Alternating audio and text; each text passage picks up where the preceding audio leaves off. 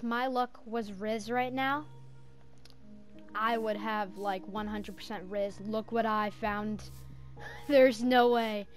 This is like my best Minecraft world. Um, as you can see, I got full enchantments, diamond tools, enchanted armor.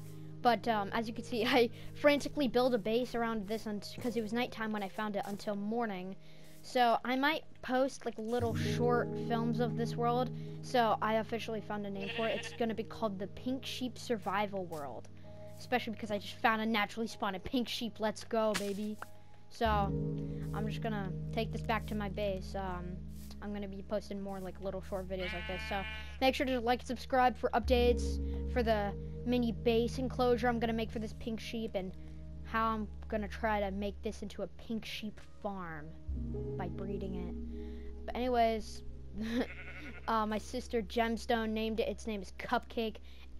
We'll get to more on Cupcake um, in future episodes.